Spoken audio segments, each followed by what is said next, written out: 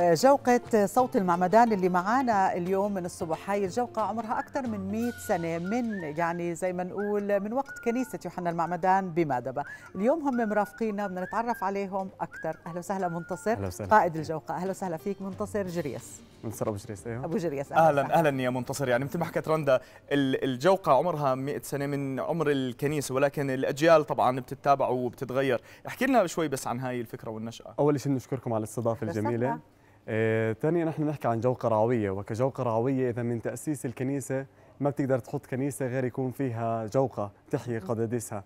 فهي جوقة تتابعت من كهنة كانوا مستلمينها من راهبات لأشخاص م- علمانيين مدربين. تابعت على هذا الأساس. كان من الأشخاص المعروفين أبونا جورج سابا وكان شخص موسيقي معروف يعني. استلم الكنيسة واستلم الجوقه لفترة منيحة وتابعت أبونا وسام المنصور آه، ساري كراتشي ويليام القنصل أبونا جورج أيوب أشخاص كثير استلموا هالجوقه واستمرت لحد يومنا هذا. حتى إنها تكون جوقة دائما موجودة للكنيسة ولها الرعاية. رائعين ودم متجدد وصبايا وشباب. أهلا وسهلا فيكم مبدعين معنا اليوم. شو نشاطات جوقة صوت المعمدان بهالأيام؟ هلأ إحنا بنيجي نيجي نحكي على مستوى الرعاية. هي دائما مشاركة في قداديسها. قبل فترة كان عندنا أمسية ميلادية أحيانا أمسية ميلادية في الرعية وأحيناها برضه في سماكية في بلدة سماكية. برضه آه، إن شاء الله خلال الفترة الجاية رح نحضر لأمسية الإيستر عيد الفصح وإن شاء الله رح يكون عندها أول نشاط خارج البلاد في آه، اليونان بإذن الله تعالى.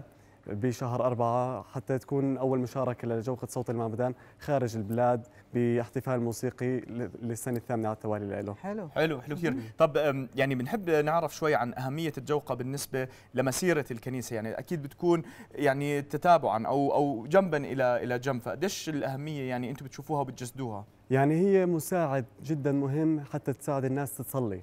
القديس أغسطينوس بحكي لنا من رتل فقد صلى مرتين. ومن الأساس هذا إحنا بنساعد الناس.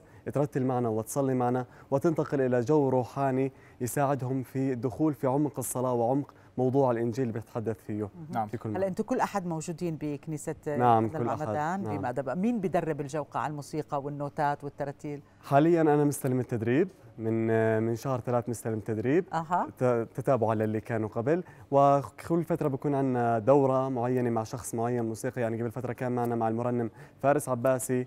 إيه، إن شاء الله خلال الفترة الجاية برضه راح يكون مع أشخاص ثانيين إيه، شاركتنا برضه المرنمة ميرا سميرات في دورة خلال مخيم للجوقة. حلو. فكل فترة بكون عندنا تجديد والأساس لهالجوقة حتى كيف تستمر. أستاذ منتصر بيغزل بيعل بيعذبكم ولا منيح تمام. واضح من شكرا واضح من الضحك ما شاء الله. شكرا طيب لكم. كل سنة وأنتم سالمين. شكرا. شكرا. كل سنة وأنتم سالمين. شكرا.